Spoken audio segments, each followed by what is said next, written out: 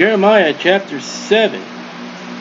Again, we're dealing with a nation, Judah, is just completely rebelling against God. And God has sent prophets, God has sent Jeremiah, and they're not listening. And we're coming to the end of Judah and Jerusalem attacked by the Babylonian army. But we're in the period of church age, we're coming to the time of the rapture. And the church is involved in sin. And God has sent the King James Bible, and God has sent men, many who are not pastors, some are pastors, evangelists, and preachers and teachers, and they're not listening. And America, coming to the time that, that the rapture is going to happen in the church, and then seven years of tribulation period, the Antichrist, America is involved in her sins. She may be destroyed, will be destroyed, because you won't find America in the eternal life. And God has sent preachers and teachers and, and evangelists, and she's not listening. Jeremiah is a current event book for 2021. The word that came to Jeremiah from the Lord. That's inspiration. Yeah, Jeremiah wrote the word of God. Yeah, people, men wrote the Bible by the inspiration by the Holy Spirit of God. That's the difference between the Bible and other religious books. The inspiration of the God, the God, the Almighty God, and the Holy Spirit spoke,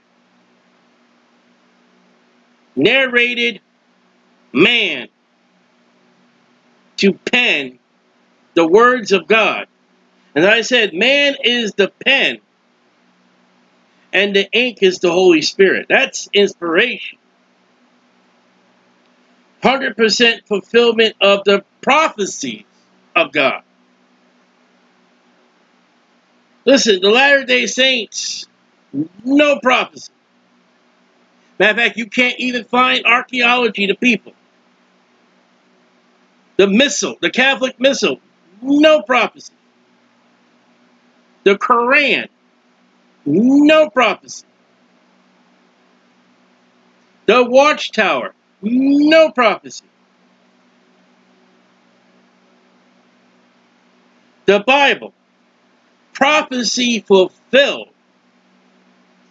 And prophecy that will be fulfilled. Any prophecy that's in the Bible that has not been fulfilled yet. It's not that the Bible's a liar, it's prophecy that will be fulfilled one day. Jonah said of the word of God, Nineveh shall be destroyed. Nineveh repented and got right and got God's favor, and later on, Nineveh was destroyed. So the word that came to Jeremiah the Lord, saying, Stand in the gate of the Lord's house, not Jerusalem, at the gate of the temple, where all would come in where everybody will see you, Jeremiah. Jeremiah is going to be, in a moment, a street preacher. And yes, he will turn people away. And when they say, when, when, I, when I preach on the street, they're turning people away. Absolutely correct. That happens in the Bible.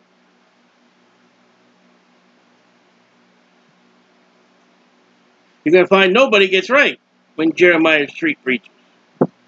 And he's at the he's at the, the temple, he's at the main stay of the Jewish people and God at their assembly building where God meets with the Jews and God told Jeremiah, you go to the gate of that city. Don't you go inside. You go in the gate of that city and you preach to those people what I tell you to preach. Does that recommend that does that recognize to you something that's in the Bible? Revelation chapter 3, Jesus Christ himself is standing at the door, not in the church. He's standing at the door of the church knocking. Jeremiah and Jesus are at the same location. In the Old Testament for the Jews, he's standing outside at the gate of the temple. And in the church age, Jesus Christ is standing at the closed door of the church. And both are coming to an end. In Revelation chapter 3, you don't ever hear the church after that to Revelation 19. Stand in the gate of the Lord's house and proclaim there the word. Street preaching. And say, Hear the word of the Lord, O ye Judah, that enter at these gates to worship the Lord. They are going to the temple to worship the Lord. And we have been involved many times in our ministry. We have been outside, I call it the compound of Jehovah Witnesses. We have been outside the Catholic Church. You say, how dare you do that? How dare you go outside these religious places and, and do what you do? Jeremiah did it. There are people going into their buildings, going to their places of worship, thinking they're going to God, and God told me, you stand there, you hold the sign, you preach. It's like Jeremiah. You go inside that church I'll send you to go to. You tell them what the Bible said. And they disrespect it, they'll throw you out. They'll get you out. You'll have to leave.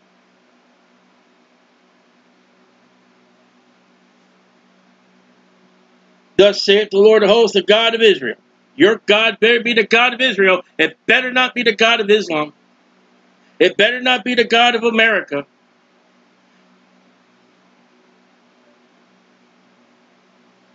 amend your ways, fix up your ways, get your ways correct, and your doing. And I will cause you to dwell in this place. You get right, you repent. All right, everything be well. I won't destroy this temple, God said. And that temple will be destroyed. By the time we close the book of Jeremiah and Lamentations and Ezekiel, that temple will be destroyed. Ezra and Nehemiah. I, I, I said recently, and would it be quite interesting, quite funny to learn that after the rapture, when we come to the period where the Antichrist said, All right, I've died, I'll come back to life, make an image, give that image life, and that image says, Receive the mark on your forehead or on your hand. I said, Would it be funny if the Antichrist puts a documentation, recommendation, Anybody who wants to receive the mark, head down to your local Baptist church building. Plenty of parking. That'd be funny. Wouldn't it be funny if the grand of our churches, Baptist churches today, if the Antichrist used what I mean, you, some probably maybe think the building's going to go up in the rapture. They're not going to go up in the rapture. Your Baptist church will still be here, and they'll be at use for the Antichrist. Want to be interesting? your beautiful manicure, manicured lawns and your great buildings, your great painting, your great carpet, your great pew, your great altars and all that. And Antichrist says, sign up at the local Baptist church building to receive your mark. Hey, things ain't going to go that bad. Listen, the, the, the devil, uh, uh, 2 Corinthians chapter 11, Satan's in the pulpit of Laodicean churches today. It ain't going to be too far for the Antichrist to go into church buildings today. He, most of them, he's already there now. Jeremiah is at the temple. And you know what a lot of Baptists think today? I don't care about the other religion. I'm talking about the Baptists. You know what a lot of Baptists say? Their church building is the temple. Their church building is where God will meet with you. Baptist Catholic. There's no other church but our church. And then the, the, the Baptist, there's no other church building but our church building. I'm telling you. Trust ye not in lying words. Oh. And there's false prophets running around. And there's the Jews running around saying, hey, don't listen to Jeremiah. Don't listen to God. We know. And there are, in the pulpit today, there are liars. There are deceivers. There are wolves in sheep clothing. There are preachers and pastors and Sunday school teachers that are lying to the people. They're deceiving. And there are, are people running around in America through the government, through the media, lying to the people. And there throughout the world, there are people running around lying to the people. That's the mark of the fatherhood of Satan, John 8 44. He is the liar and the father of lies.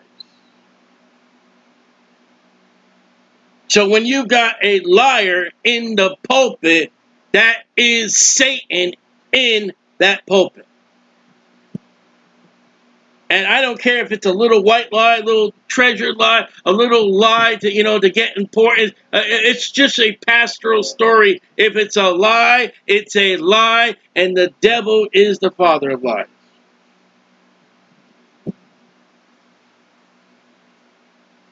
Trust ye not in lying words, saying, The temple of the Lord, the temple of the Lord, the temple of the Lord are these.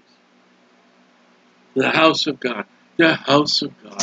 Go to church. Come to our church. See our church. Look at our great building. You know, it's so funny because it, it did happen to me. I heard, I think it was Dr. Ruckman say, when he gets invited out to these churches and it's a brand new church that he's never been to before. And the first thing, you know, they to say, well, you got to bring you to the church, but we got to show you the church building. And when I remember I came down here for the first time to Florida, and we were brought down here by a church, and we came in here, it was 2 o'clock in the morning. And we've been through all the planes and all that, and we arrived 2 o'clock in the morning. Guess what that pastor said? 2 o'clock in the morning, we got to go see the church building see the church building, see the house of God. That's what they're crying today about their places of assembly. I mean, we had one time and had a great time. We used to meet out in the gazebo in the, in, in the park. You meet there. Yeah, it was quite neat, quite interesting. Didn't need to pay for air conditioning. For if you truly amend, there's that again, your ways. If you completely, if you return, if you repent, you put away your sin, you do what God is telling you to do. Pardon my voice. And you're doing. Doing's verb. That's a verb. What you are doing, what the nation of Israel is doing is wrong. What the church is doing is wrong. What America's doing is wrong. What the world is doing is wrong. And God says, get right, repent. I've had Christians tell me, uh, I, I don't like that turn or burn. What else is there? If they don't turn now, the city will burn, and it does. And if they don't repent and get right at the preaching of Jeremiah, they will die and go to hell. And there are Jews from Judah and Jerusalem in hell today, God's people, Old Testament, they're in hell today because they did not repent. And when a Christian comes up to me and says, oh, I the, the, the turn or burn, and yet the Bible tells me that Jesus said about a about the man in hell. He's like, will you go home and tell my family, turn or burn? Will you go to my family, tell them about this place? Will you tell them not to come? And Christians today, I don't like that hellfire preaching. We got to have more love. I got to let my light burn. And they don't tell anybody about hell. They don't witness. If you thoroughly execute judgment between a man and his neighbor, well, evidently in Judah, the law was not being practiced correctly, like it is in America and the world. And in the churches. Churches are not properly judging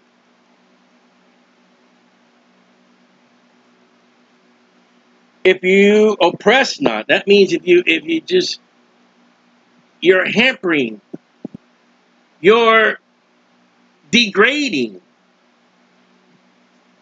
you are exalting yourself over somebody else. And that happens in church houses. I've had my family and I, we, have been ostracized, we've been made fun of. We, we, we were in a church one time, and it was out of the pulpit. well, I heard this group of people, you know, they don't even want to park next to the Hayward's cars because they have all the scripture in their car. I had a pastor in another church tell me, well, you know, you got to move that car because we got guests coming. We, we got a special thing in church. Our guests, I, I, I said, I said, uh, you know, sarcastically, I said, if you want the car moved, you move it because we had a handicap placard and that was the handicap parking. I said, if you want the car moved, you move it yourself. And he said, give me the keys. I took my keys out and he took them and he had somebody move that car for us. You do that. You scream at the people. No, I preach at the people. You believe that doctrine? You think we're wrong? Not the stranger. Oppress not the stranger. That's the Gentiles. And no, the Jews wouldn't do that. I mean, when God told Jonah go to the Ninevites, he just loved it. No. Peter was all in agreement to go to Cornelius. No. Even the woman at the well told Jesus, What are you doing talking to me? And that Syrophoenician woman that came to Jesus, Jesus I'm only for the, I'm only here for my people, the Jews. I mean, the people talk prejudice, prejudice. There's a prejudice in the Bible. The Bible says that Christians that had no concord, no fellowship with the workers of darkness, the fatherless, the widow. We've seen that over and over. And shed not innocent blood. You mean they're killing people? Yes. In this page, place. What place? Where is Jeremiah? He's at the temple. He's at the place of worship. He is at the only place in the world, in the time, that there is one place where God meets his people. Not the church age. That temple built by the Jews was to be that central worship of all the Jews to be there. And God said there's oppression, there's improper judgment, and there's murder going on at the place of worship. And even Jesus said, uh, I can't think of his name now, that was murdered at the, at the altar. I, forgive me for not knowing the martyr's name. There's people at the temple, at the worship, getting murdered.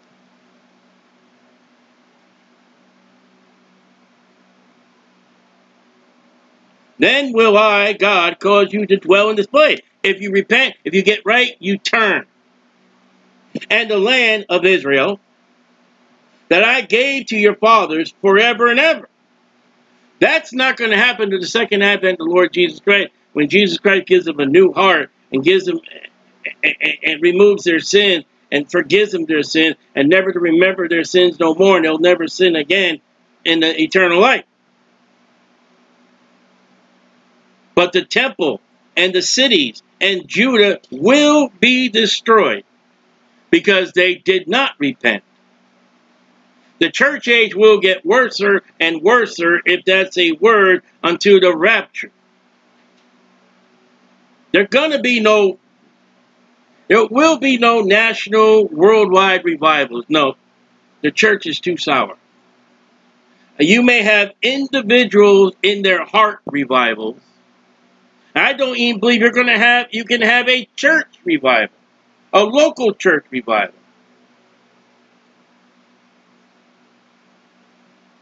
Because in order to have a pure one church revival, local church, you got to clean all the leaven out. Did we just read that? Then we just read amend your ways. You can't have unsaved people in your assembly because they're leaven. In order for a church to get right in a revival, the people in the assembly have to put away their sin. They have to get right, and not just for a week's preaching. You know, I've been in revival, and things have gotten great for one week. And the next following Sunday, they were back to normal.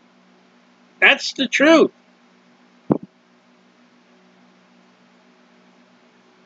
Verse 8 Behold, ye trust in lying words. Israel is trusting in lying words. peace, peace. The Bible says there is no peace. The church, they got deceivers. They got wolves in sheep clothing. They got perverted Bibles. They got false messages. They got messages that don't include what the Bible says. Lying word. The most abominable lie in the church is when you go to church and a woman gets up to that pulpit and teaches the congregation. That is surely lying words. I was to say, Joe is, that's, um, I can't think of her name now not Joel Osteen. Um, the other, that woman that's on the television, liar. When the Bible says a woman is not to usurp the authority, Joyce Myers, liar. People listen to her. Liar. I've been in the church. They were lying to me, lying to me, lying to me, and everybody listened to it, and no one gave the preacher a hard time. Lies. Don't listen to him. Not only did they listen to him, behold, ye trust in lying words. It's our church. It's our pastor. It's got to be right. Check him out. I'm amazed in these churches how many people attend a church today and don't bring a Bible.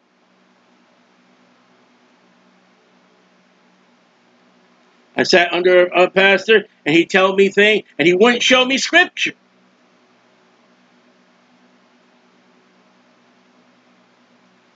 Liars and trusting in lies that cannot profit.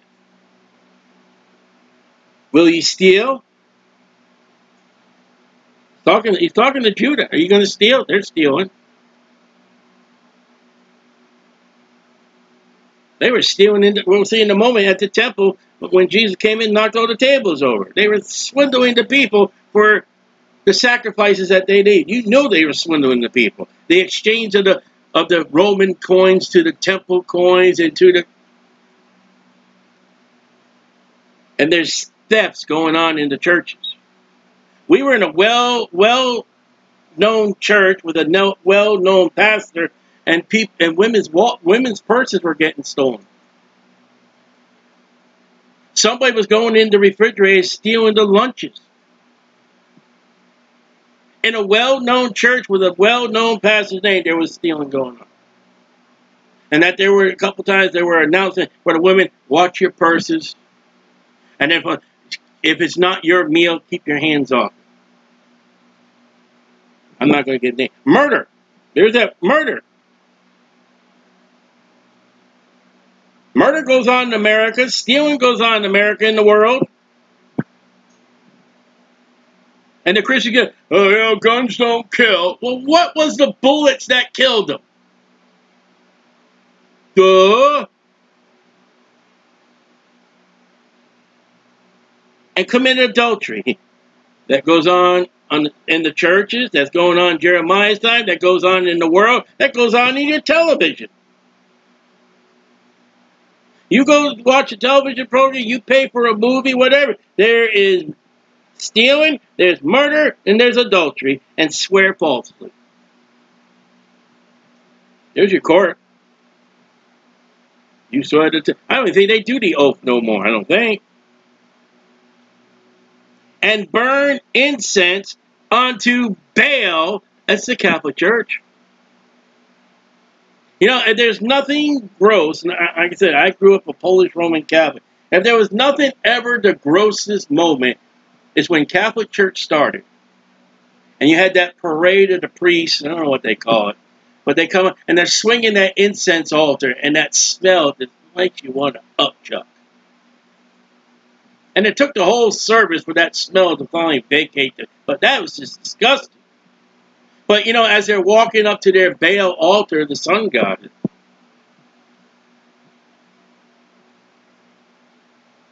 I know that don't happen in the Baptist churches. They don't they don't they don't burn their incense to Baal. No, they do it outside in the parking lot with cigarette butts. And this is a true story. This did not happen to me in my church, but I heard a well-known preacher tell me that a, another well well-known visiting preacher or evangelist went to this church. And what he did before he preached the message, he went out and picked up all the cigarette butts that was in the parking lot, in the grounds. And he used a collection plate, I think. But whatever. When he got into the church and ready everybody to hear this, this, this man preaching, he took the cigarette butts, whatever he put it in, and he dumped them on the communion table. And that caused such a ruckus. What? You ruined the communion table. What about the, the, the, the incense to Baal? What about the waste of money?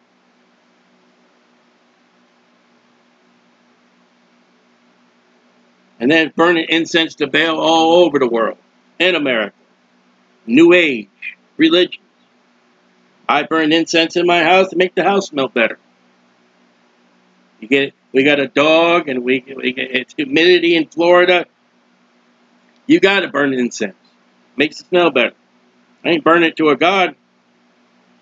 And walk after other gods whom ye not know. Now, what's that in the church house? There are Christians who walk in Ishtar, and they don't even know who Easter is. And their pastor is not going to tell them who Ishtar is. And they're not going to look up who Ishtar is or Easter. And when a man comes along and enters the congregation, joins the fellowship, and tells them Ishtar and Easter are wrong, well, we like it. And when we read the other night, we're not going to listen. And when you celebrate the Christmas, the, the, the Tammuz Mass, you don't even know who Tammuz is. You don't even know what Christmas is. You don't even know what Valentine's is. You don't even realize that when you are honoring dead soldiers, that's honoring the dead. They're dead. Honor live soldiers. I was in a church. They had pictures of soldiers who passed off and died. Well, listen, they do that on down. I mean, they do that on Halloween in Mexico in the Catholic Church and in their Inca religions. That's ought not to be named in the assembly of Jesus Christ. When did Jesus honor the dead? When did Paul honor the dead? You never seen Paul give one name of a saint who had passed on. Oh, we got to remember this person. No. There are gods in the churches today that claim to be Bible, claim to be Baptist, and the congregation doesn't even know who they are. I read a thing today, I mean a book about religions and all that, and how pizza, pizza, what's wrong with pizza? I love pizza. And they bring pizza to the fellowships and all that, and yet pizza is an Italian Roman dish that used to be brought by the Catholics to their churches and how that has crept into the Baptist churches. We're going to have a pizza meal at our church. We're going to have a youth ride with pizza. You can't find something else? What happened to fried chicken? What happens? Of all things, you got to choose the Catholic thing. Yeah, you do. I'm just telling you, the devil knows how to sneak in. The devil's slick. How do you sneak how do you sneak face painting? We talked about the other night. And come and stand before me in this house. That's God opening up an invitation to the Jews that you get right, you repent, you turn from your stealing, you turn from your murder, you don't commit adultery, stop swearing falsely, stop burning incense to Baal, stop serving other gods, turn and repent and get right and amend your ways and turn to me and all will be well. There it is. And Jeremiah had no stanzas just I am without one plea. And he doesn't have them sitting on pews. Where's the pews? Where's the organ? He's standing outside the gates of the of the temple, preaching to them, telling the people as he prays, "Will you get right? Will you?" And you can get right right there on the street. You can get right right now in this gate. Then, then, then, then, come and stand before this house. God says, get right first, amend your ways, then come to the temple. I preach on the street. I offer an invitation. I tell you right now, you can get right on Magnolia Avenue. That's where we're at in Daytona Beach. You can get right right now, Magnolia and Wall Street in Daytona Beach, Florida. You can get right with God. You can repent. You can believe on the Lord Jesus Christ and be saved. You may not reach Sunday morning church service. And I'm not inviting you to Sunday morning church service. I'm inviting you right now, here and now, to believe on the Lord Jesus Christ to be saved. And if you get right and you have repented, then I will do all I can do to help you find a King James Bible believing church to get in and grow. You're not right. You didn't get saved. You have not believed on Lord Jesus Christ. I don't want you to go anywhere inside any church to ruin that church. Stay home on Sunday morning. Whoa. And those remarks right there had the preacher lie to me about, oh, we'll help you, we'll gain, well, we'll get people to come out and all that. And when he realized what I preach and how I preach, that I don't preach churches on my street ministry. I preach the cross. I preach the resurrection. I preach the gospel of Jesus Christ. God said, don't come to the temple till you get right. If you do, you're a hypocrite. The temple didn't make you right. And come and stand before me in this house. The temple. Not a church house. Which is called by my name. And it is. It's so funny. These Baptist church, well, this is the house of God. And not any of them have the name of Jesus on it, do they?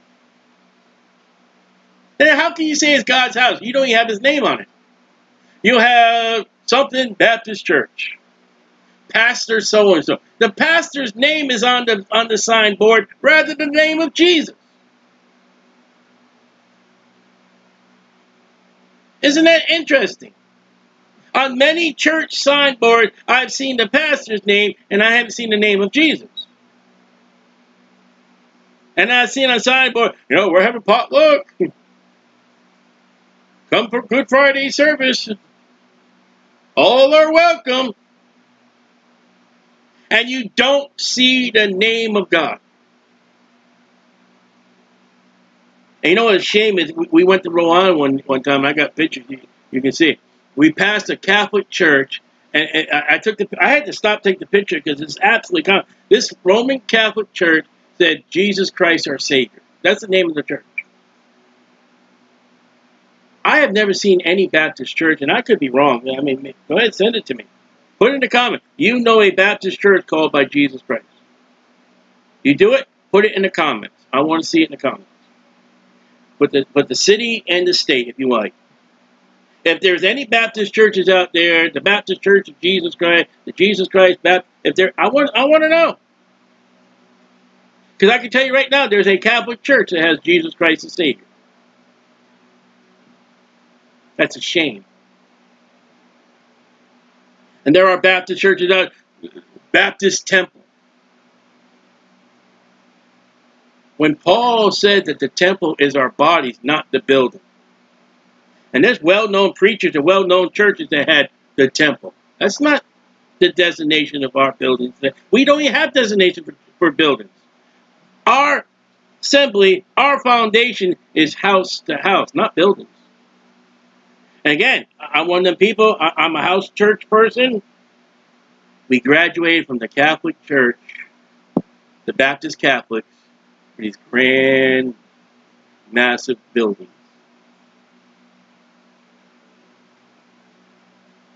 You say there's anything wrong with the building? Yeah, when the building has become more important than God. When more people show up for a work party than they show up for visitation.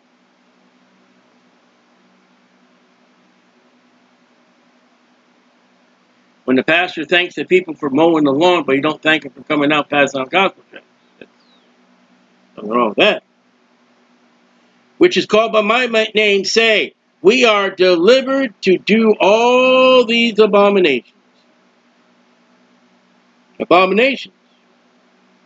Theft is abomination. Murder is abomination. Adultery is abomination. Swearing falsely is abomination. Burning incense to Baal is an abomination. And after other gods, whom you don't even know. Again, if you don't know who Ishtar is, that's an abomination. If You don't know who Tammuz is, that's an abomination. You don't know who Eros is, that's an abomination. I'm not even talking about all the gods of America, and I'm not definitely talking about all the gods of the world. If I get to all the gods of the world, I mean India.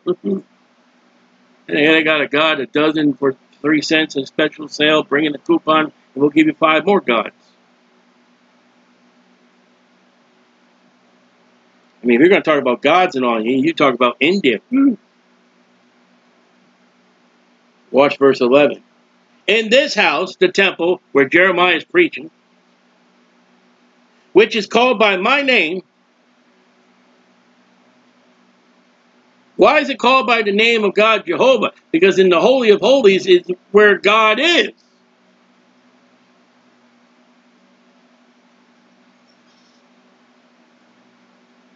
It's become a, a den of robbers in your eyes. Well, gee, who said that? Jesus Christ said that. Matthew 21, 13, Mark 11, 17, and Luke 19, 46. Them are the words of Jesus quoting from Jeremiah. Jesus quoted and backed Jeremiah preaching on the street at the gate of the temple. And Jesus quotes from that.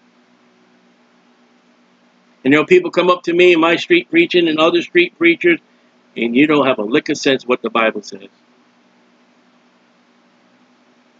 And you're going to stand at either judgment for the foolishness of your mouth. Because Jesus said in Matthew, every idle word shall man give an account. Just be well, just shut up. Just shut up. When you got somebody street preaching, you got somebody coming door to door knocking on people, and you got a comment and you don't know what the Bible says, just shut up. It's bad enough you're thinking it. For every idle word that man shall get, you're going to give it account. Just shut up. Behold, even I have seen it, saith the Lord. All right, see that capital L? See that capital O? Capital R? Capital D. God said, I seen it. Who said that? God said that to Jeremiah, yes. Who said it later on? Jesus said that. Matthew, Mark, and Luke. God says, "I've seen that temple called Roberts.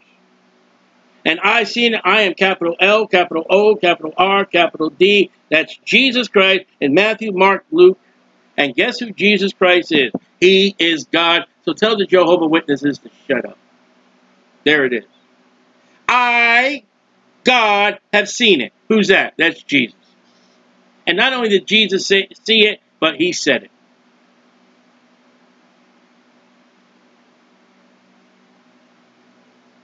Jehovah Witnesses, according to the scriptures, are liars. Because they will outright tell you, of all outrightness, I've dealt with every Jehovah Witness, yes, Jesus is not God. And over and over and over, yes, the Bible says Jesus is God. There it is. But go ye now into my place, which is Shiloh. And we got the imitation Shiloh in America for the Great Civil War. Why do we have a Shiloh in America? Because we tried to steal from Israel her promises. Replacement theology. You say, what's replacement theology?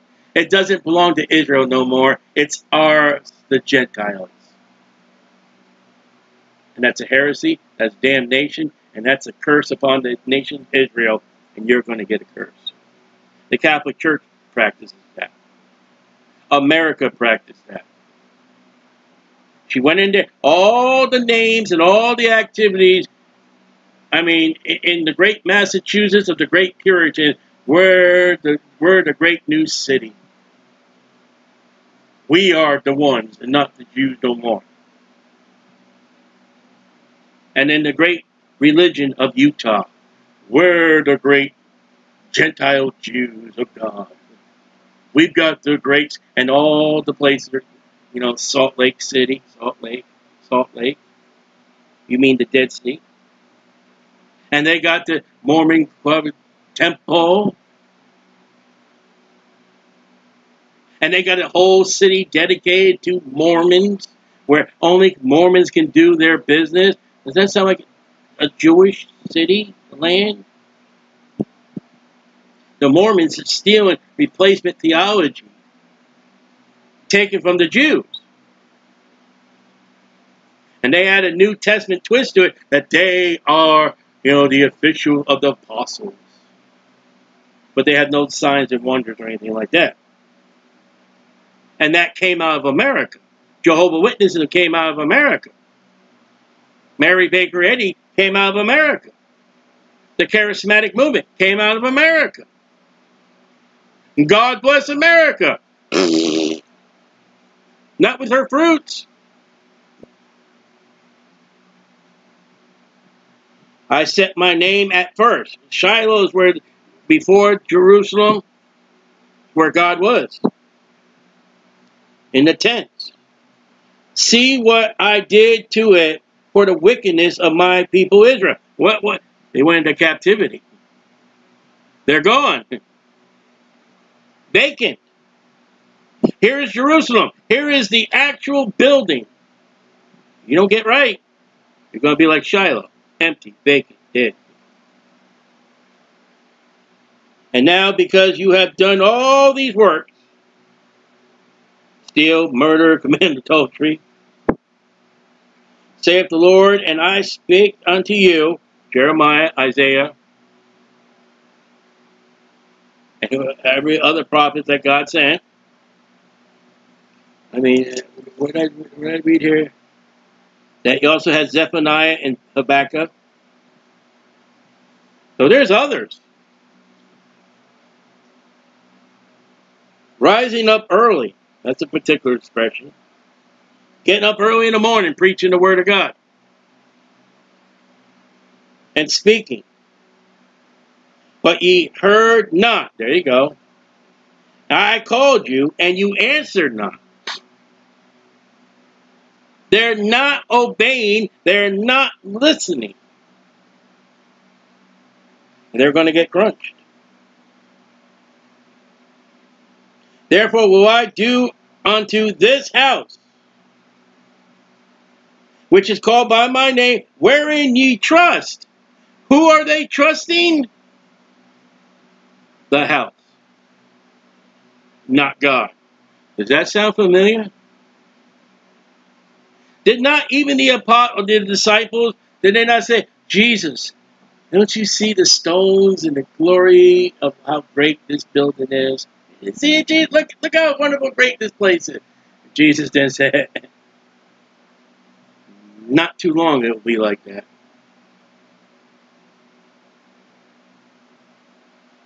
He'll be destroyed, 70 AD. They're trusting in the house, not the God that's in the house. That's your churches today. There are Christians that trust in the house more they do to God. And I'm not talking about the church house. I'm talking about the House of Representatives. I'm talking about the Senate. I'm talking about the White House. The world's going to come to an end if we don't get a Republican in the White House. The world will end. Don't believe me? How many Christians got upset when Donald Trump did not win the, the election? Oh, they stole it. They stole. How about God and the devil got together and said, okay, whoever said it, whoever did it, Joe Biden goes in the White House. How about that? And how about now whoever, God or the devil, I'm not sure. God had to get, you know, the devil has to get permission from God. God's got to get permission to the devil to do it. What, what about what the devil said to God? Oh God, you know, if they count the votes, Trump's going to win. And you and I both want Biden. You know, I, I'm just and, and God's like, okay, let me just mess with the ballots. Or how about you, Satan? How about you mess with the ballots? Okay. Now, how about God or the devil, or both, mess with the ballots to put Joe Biden in office if they wanted Joe Biden in office? I mean, do you really think your vote is going to override who God wants? That's a scary thing because, yes, it can happen. Because when the people wanted a pres uh, president, when the people wanted a king, God gave them Saul. And that guy made a havoc. And then God gave him a king after his own heart, and he was neither Republican or Democrat. He was David. And David trusted the Lord, and the people trusted the Lord, and not the office, not the palace. The people here are trusting the house. And unto the place which I gave to you, Jerusalem, and to your fathers, as I done to Shiloh, destroyed, gone. And I will, God, cast you out of my sight before we get to the end of Jeremiah. Sin is a serious business. And you know what one thing is not taught in major denominations today? Not just the Baptists, major repentance is not being taught. There is no need in the churches and denominations of the preaching of repentance. God takes us all. God hates God hates sin, but he loves the sinner. That's a damnable heresy that will get somebody going to hell thinking, I'm good and well. You might as well just get them to say a prayer. That's just as damning. And I will cast you out of my sight, and I will cast out all your brethren, even the whole seed of Ephraim. Ephraim joined idols. Hosea said. Do you know a place in the world today they, they, they say they are of Ephraim? Those Mormons over there in Utah. They believe they come from Ephraim.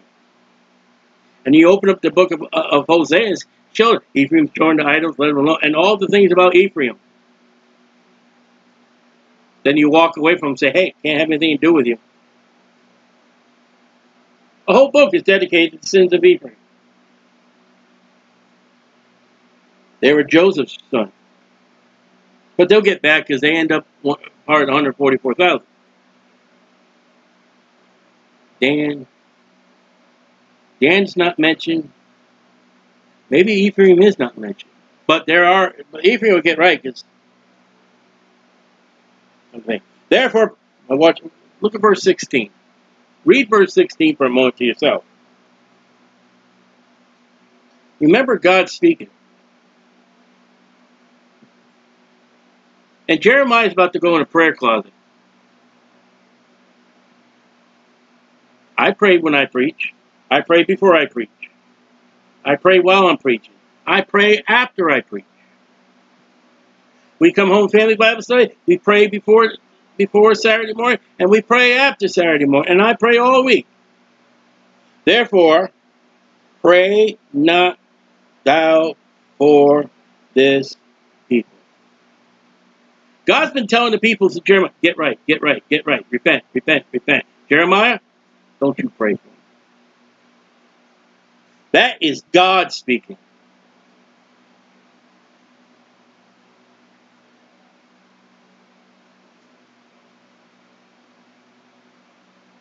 Jeremiah, you're doing what, you, what I told you to do. I am giving you the message. They know what the message is. They've had enough. Don't pray for them. They're on their own.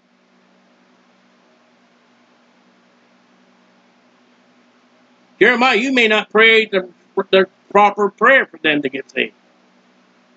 And to be saved is repenting and not being destroyed.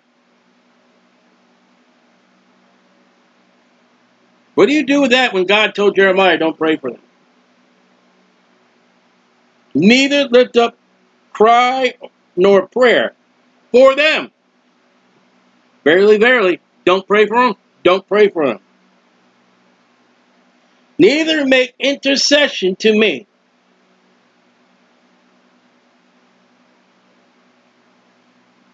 That's what Christians do. We make intercession for our family and for our loved ones. And God reached down to heaven to Jeremiah and said, Don't even pray.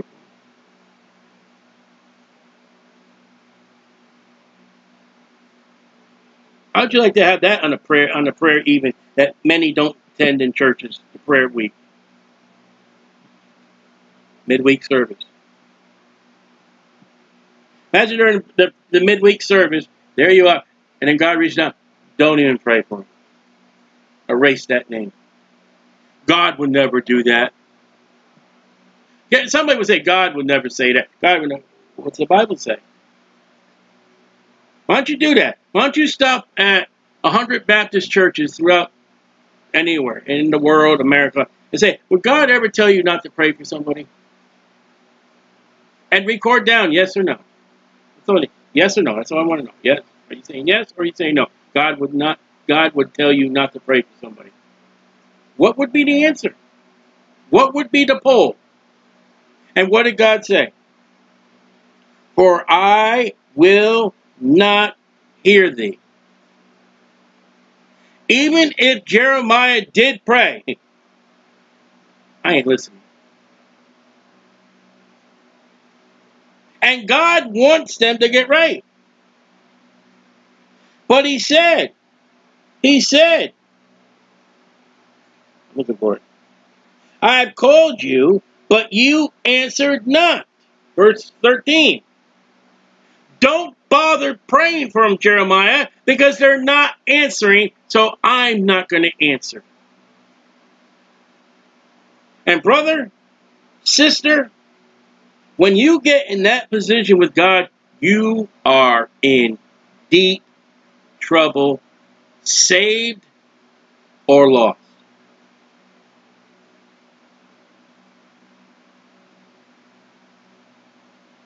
When you or your loved one, God tells them, don't even pray for them. Uh, stop it. I'm not listening. You're wasting your breath. You are in some serious trouble, and we'll stop there in that good word. you better repent. You better get right.